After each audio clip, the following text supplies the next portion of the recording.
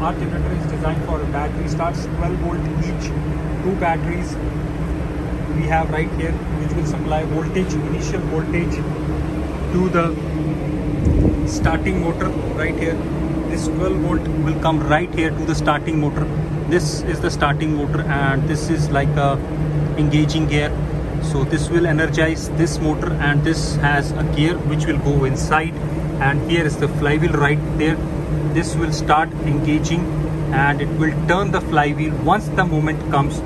This energized voltage will draw back and this uh, gear they will come back to their position and therefore the flywheel will take over. And once the flywheel takes over minimum firing rpm comes the emergency generator will fire. This is a turbocharged cummins engine this one right here is a big type air filter. And this is the suction air inside. Air filter is there.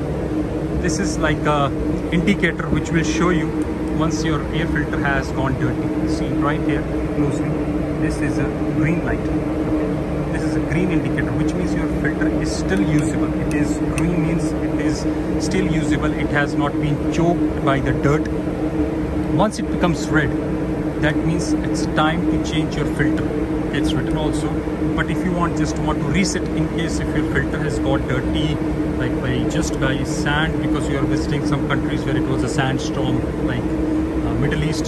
So you just have to press this button. If you press right here like this press to reset. And it turns green back. That means your filter is still good. This is the turbocharger right here. Okay so this is like a fan these are the few filters if you see filters this is the main feeder panel. One is the emergency generator control panel 440 feeder panel 220 volts feeder panel and this is again volt feeder panel right here. And this is the fuel oil tank for the emergency generator which is required by the SOLAS the minimum level at least for the fuel oil to sustain for the oil tanker is 18 hours fuel oil consumption at 100% load and for our ships it is 102.12 liters. It is 1200 per liters and we have marked also this is the minimum level.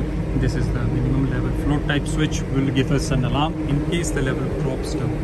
This is the drain and this one right here is the fuel oil outlet valve which is a quick closing type of valve which is operated same remotely connected via wire slings going all the way up going up. So there is no forced ventilation right here. If you just see this is a natural ventilation duct as well as ventilation as well. one right here. This is a smoke detector right there and this one. So two we have. This is how the generator looks like from the forward if you see. So where does yeah where is the manual hand cranking which is once again very important? This right here fuel lever solenoid fuel rod if you close this anti-clockwise it will bypass the fuel oil solenoid valve uh, block. So once this is done this is the manual hand cranking spring this is the handle right here all you have to do is just put this right hand right here like this